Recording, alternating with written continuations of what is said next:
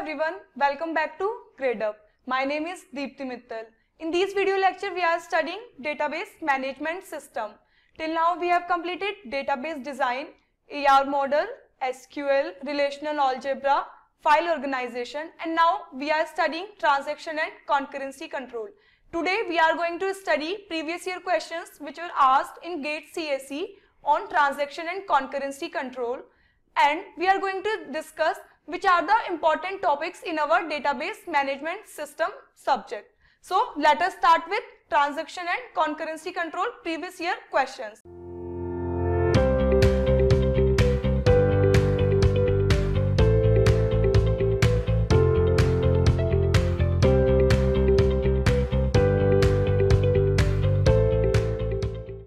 Guys, till now I have discussed almost each and every concept which is required in transaction and concurrency control. So I think you are very comfortable with solving previous year question. I am going to solve it with you. So be cooperative and try to solve it along with me for better understanding of the concept. Guys, this question was asked in GATE CS 2003 and it was asked for 1 marks. Let us see what this question is demanding or what is this question asking to us. This question is, which of the following scenario may lead to irrecoverable error in a database system? So now you are aware what is irrecoverability and what is irrecoverable error in database system. Let us go through the options and to and let us find out which option is correct from the given options. Option A, option A says a transaction writes a data item after it is read by an uncommitted transaction. But you know what is the problem with irrecoverable error? We are having two transactions, transaction T1 and T2. Transaction T1 writes data item A and transaction T2 is reading that particular data item A before commit or rollback of our transaction T1. But this option A is just opposite. So this cannot be correct. Let us move towards B option. What B option says? A transaction reads a data item after it is read by an uncommitted transaction. That is what we are having here. Read and read conflict. It is not a conflict pair. So this option is also not correct. C, the option C, a transaction reads a data item A after it is written by an uncommit, sorry, committed transaction. If a transaction is going to read data item which is updated by a committed transaction there is no problem of uncommitted read and there is nothing like uncommitted read. So it cannot be irrecoverable. It is recoverable. So option c is also not correct. Let us see what option d says. Option d says a transaction reads a data item after it is written by an uncommitted transaction. See the same thing? This transaction t2 is reading data item a um, after it is written by transaction T1 which has not committed yet. So option D is correct. This was about recoverability problem in our database system and schedules. Let us move towards next question. Subscribe to our channel and press the bell icon to never miss any update from GradeUp. Yes, this question was also asked in GATE CS 2003 and it was asked for 2 marks. Read it with me. Consider three data items D1, D2 and D3 and the following schedule of transaction T1, T2 and T3. We are having a schedule with three transactions T1, T2 and T3 and the data items which we are going to read or write or update are D1, D2 and D3 and it is clearly mentioned that RD denotes reading of data item D and WD denotes writing of data item D. You are now aware of all these things. We have discussed so many questions on schedules till now. So it is asked which of the following statement is correct. We are provided with four statements and all of these four statements are discussing about serializability of a schedule. Then what we are going to discuss? Whether this particular schedule is serializable or not. So tell me the way to check whether a schedule is serializable or not. Yes, we have two techniques for this thing. First one is conflict serializability and second one is view serializability. you know it is easy to check conflict uh, whether a schedule is conflict serializable or not. What we have to do? We have to just draw a precedence graph for the given schedule and then you can easily find out whether it is serializable or not. So let us check whether this particular schedule is serializable or not by drawing its precedence graph. While, uh, while teaching you precedence graph, I already mentioned how you are going to draw a graph. You will first find out the vertices which are transactions in your particular schedule. Then you are going to find out edges between these transactions on the basis of conflicts. The conflict pairs between these two transactions. We'll start with first operation in our schedule which is read of data item D2 from transaction T2. We'll find out write of data item D2 in transaction T1 and T3 for getting read write conflict pair. So just scan transaction T3 and T1 for getting write of data item D2. If you observe, we are having a operation write of data item D2 in our transaction D, uh, sorry T3, then we are going to have an edge from T1 to T3 because there exists a conflict pair read write conflict. Now let us check the same thing in transaction T1. Is transaction T1 having something like write of D2? Yes. We have write of D2 operation. Then what we can? Sorry, um, this is my mistake. Uh, this S should not be there. We are checking for transaction T2. Then we are going to have a conflict between T2 and T3. Uh, updated graph will be like this. See, don't focus on the above graph. I have drawn this thing by mistake we are having a conflict pair between T2 and T3 then we are going to have an edge between T2 and T3 same thing we are going to have an edge from T2 to T1 because of read write conflict pair. Now let us check for second operation in our transaction. T2 here we are having W of T2 so clearly you can check for each and every operation and just draw the graph. There is one more way for doing this thing. See this transaction T2 can have edge to T1 or T3 because we are having only three transactions. So it already has two edges, one for T1 and one for T3. Then we need not to check for each and every operation of our transaction T2 because we cannot add some other new edge from T2. T2 can have only two edges on maximum, one to T1 and second to T3. And we uh, get both of them from our first operation only. Then I need not to check for each and every operation. Let us check for transaction T1. See, in transaction T1, the first operation is read of D1 data item. We'll scan for write of D1 data item in our transaction T2 and T3. In our transaction T2, we got write of D1 data item. Then I am going to draw an edge from T1 to T2. Yes, if you observe here, I need not to check for other dependencies also. We are having a cycle. And precedence graph is not a cyclic. Then what we can say about schedule? Schedule is not serializable. So the correct option is this schedule is not serializable. Guys, uh, I think you know this concept very well. What you have to do, just draw the precedence graph by using that schedule and check for cycles. If no cycle, then it is serializable otherwise not and if you are still having some doubts please refer the video section again and that particular video again for more clarity let us move towards next question this question was asked in gate cs 2004 and it was asked for one mark. Let us see what this question is asking. This question is which level of locking provides us highest degree of concurrency in a relational database?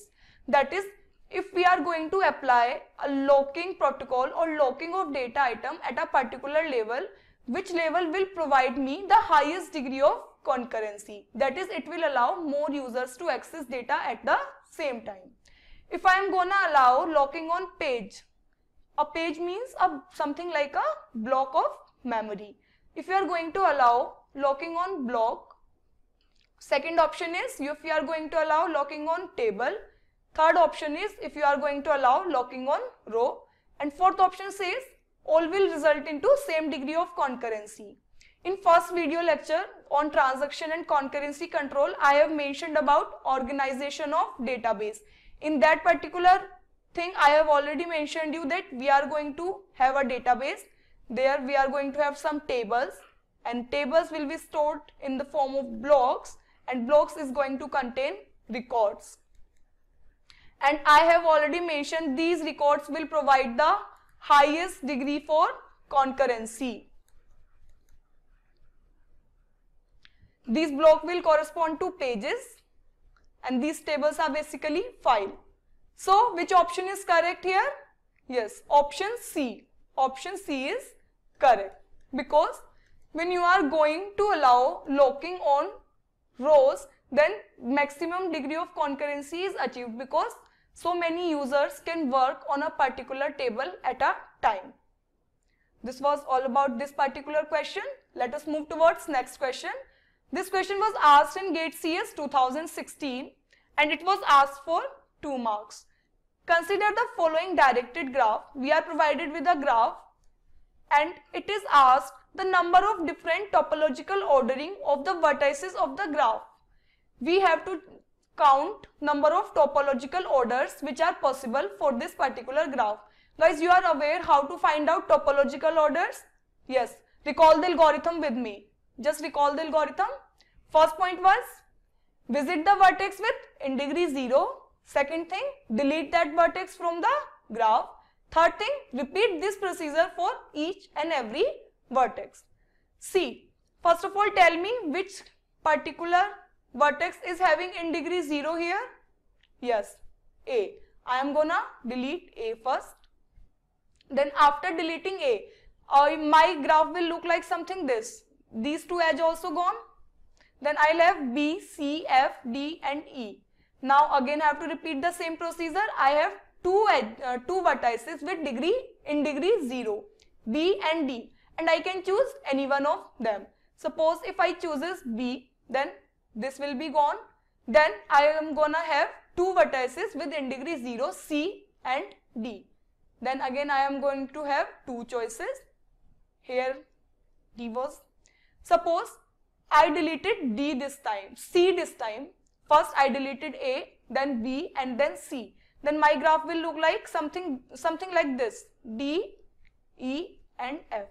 Then which vertex is having in degree 0 in this particular graph? Yes, only D, then only E and then only F.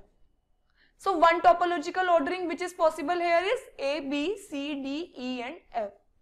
Suppose after deleting B, instead of deleting C, I deleted D. Then my graph will uh, look like something this. C, F, E, something like this. Then again I am going to have two choices to be deleted C and E. Suppose I deleted C, then the choice which is left to me is deleting of E and after deleting E I am left with only one ver vertex which is F. Suppose instead of deleting C, at that time I deleted E. Then I got A, B, D, E. After deleting E, I got C and then F. Let us repeat this procedure. If I have deleted D after deletion of A, then again after deletion of D, uh, D I am going to have two choices B and E. Then I am again having two choices B and E and after deleting E, the graph would look like B, C and F. So the sequence would be like B, C and F here. And suppose instead of deleting E at that time, you deleted B, this particular edge. Then you are going to have something like C, F and E. The same thing which we have here. Then again we are going to have two sorted sequence, uh, two topological orders for this particular combination. So now we are having 1, 2, 3, 4, 5, 6. 6 possibilities and 6 topological orders. In this manner, you have to cover each and every possibility of deletion of vertices so that you can collect all the topological orders which are possible. So tell me the answer for this particular question. Yes, the answer is 6. You are going to have 6 topological order for this particular graph. So guys, if you observe, this question is very easy. Nothing great in this particular question. Just you have to be focused and write each and everything properly and cover each and every possibility. Let us move towards next question. This question was asked in GATE CS 2014. This question consists of four transactions T1, T2 and T3, T4. It is asking whether the schedule is conflict serializable and recoverable or not. So for checking of conflict serializability, I am going to draw precedence graph. Let us draw the precedence graph along with me. We have done this thing so many times that you should be very fluent in drawing precedence graph for our given schedule. We are going to have four vertices. Let us draw the edges first. From T1, what we are going to have? C. this T1 is having write X operation. If any of the uh, transaction T2, T3, T4 is going to have read X or write X operation after this write X operation, then there will be a conflict pair. Observe this T2 is having some read X or write X after this write X? No. T3? No. T4? Yes. T4 is having read X operation. So there will be an edge between T1 and T4. Let us see for transaction T2. T2 is having read X. Let us check for write X operation. T3 is having write X operation. T1 is having write X operation. So it is going to have two edges. T2 to T1 and T2 to T3. Let us check for other operations in transaction T2. It is having write Y operation and transaction T4 is also having read Y operation. So we are getting write and read conflict pair. So T2 is going to have an edge to T4. For read Z, no other operation. Let us move towards T3. Yes, T3 is going to have a conflict from T3 to T1 because of this write-write conflict and T3 to T4 because of this read X. We need not to check any of the H4, T4 because there are no other operations which are followed by transaction which are following transaction T4. So we need not to check for our transaction T4. This is the precedence graph check whether any cycle is present in this particular graph. I am not viewing any cycle. So what I can say about this graph or what I can say about this particular schedule. Yes, this schedule is conflict serializable. And the sub part of this question is it is asking whether recoverable or not. So guys you are aware when a schedule is not recoverable either it is going to have uncommitted reads or reads which a particular transaction is performing is updated by some other transaction and the read is done before commit or rollback of that transaction. We will first of all check for uncommitted reads in our schedule. See, this particular transaction is having only three read operations. Transaction T2 is reading X and Z and transaction T4 is also reading our data item X. Transaction T2 when uh, reading data item X, it is initial read. So no problem. Read Z is also initial read. But transaction T4 is making a updated read which is updated by our transaction T1. But T1 committed before execution of transaction T4. So what we can say is this a uncommitted read? No, it was a committed read. So this schedule is recoverable too. So what is the correct option here? Yes. Schedule S is both conflict serializable and recoverable. So answer is option C here. Now you are clear and you know how to use conflict serializability and recoverability and how to check whether a schedule is conflict serializable or recoverable or not. So guys, up to now I have tried my best to cover each and every topic in our database management system and I have covered almost all the topics which are important and which are the part of our database syllabus. Now, since this is the last video of our uh, database subject, I have discussed almost all the topics. Now, I am gonna tell which topics are important because I have covered each and every topic. But some of them are very important because repetition of questions from these topic is quite high. That is every year you are getting almost one question or two question on these topics. So it is some analysis on important topics in our database subject. See, the, our first topic which we started with was database design. So the some important topics in this particular topics are, uh, in this particular subtopic is introduction to key. You should know all the basics about key. You should be very clear with the definitions of keys, number of keys and how to find key. Every year almost one question it is asked number of asked on finding number of candidate key, number of super key. This is the uh, question which is repeating so many times and it is the concept which is asked so many times in our GATE exam. So just study this thing very, very clearly. Then the next important topic is functional dependencies, Armstrong rules, then lossless join and dependency preserving decomposition. Yes, this is the concept with highest probability of repetition. Then normal forms and decomposition into normal form almost every year one question is asked on normal forms and decomposition of our database tables into higher normal forms. So when I taught you this database design topic, I also mentioned uh, topics like closures and canonical covers. These topics are not that important. Canonical cover is like not that important for our database design subject uh, subtopic. So while studying database design, please be focused and pay more attention on these particular subtopics. These questions and the these topics are asked so frequently and they are quite important. Then we discussed entity relationship model. In entity relationship model, we are having two things, basic terminology and mapping constraint. This is mapping constraint.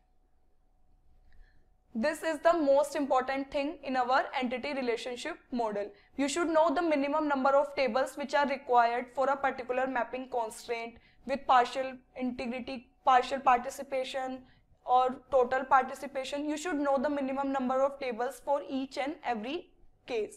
And then how to decompose your, how to uh, design your ER model that is conversion of your ER model into uh, form of tables for storage of your data into your system. So in that also you should know uh, how to find the highest normal form present for that particular ER model. These two topics are very important in our entity relationship subtopic. So be focused and read this thing very carefully. If you still have some doubts, please refer those videos again. Next topic which I taught you was relational algebra and SQL queries. One thing I can say about SQL query is each and every year at least one question is asked on SQL queries. You cannot find a single year where question on SQL is not asked. And relational algebra and SQL queries are interrelated. If you are good at relational algebra, you can easily say you can write any of the SQL query. Any query you can write. There is no doubt in that thing. So practice this portion so many times be focused for this particular portion. Refer video again. Solve so many questions. Solve at least around 10 to 20 question on each and every clause. You can refer book Rag, uh, Raghu Ramakrishna DB concept. This book is really good for practicing question on relational algebra and SQL queries. Pay more attention to this particular topic. Then we studied file organization. Guys this topic is quite less important for gate purpose you will uh, not find any question on recent years in recent years on file organization but it is always better to have knowledge for each and every topic so don't miss it completely just study about basics of indexing and basic types of indexing and just study B and B plus tree. The formula based question are asked repeatedly and so many times. So just study the node structure for B and B plus tree and how to find the order for that particular node. Focus on this particular thing. You can pay less attention to file organization, but it is always better to study than not studying anything. Then the next topic which we started is transaction and concurrency control. Go through all the basic ACID properties and state transition diagram. Study about schedules and serializability, recoverability and rollback and locking protocols. This locking protocol is important but it is no, not asked that frequently but it is important. So just practice or study about two-phase locking and strict two-phase locking and get the concept over there. It is not that important but still it is always better to have some knowledge on each and every concept. So the most important topic in transaction and concurrency control is schedule and serializability. Study this thing very sincerely. So these are some important topics which you have to focus while studying database management system. Guys, when I started teaching uh, database management system, I already mentioned that database management system is very important subject uh, regarding computer science branch and if you are going to prepare for any interview or some exam, yes, DBMS, uh, DBMS is asked very frequently. I have tried my best to explain all the topics to you and this is, uh, this time you should act. You should uh, revise each and every concept so many times, refer videos again, study each and every topic many times, try to make short notes, try to practice question on each and every topic and study each and everything very sincerely. If you are going to work hard, definitely you are going to get a result from it.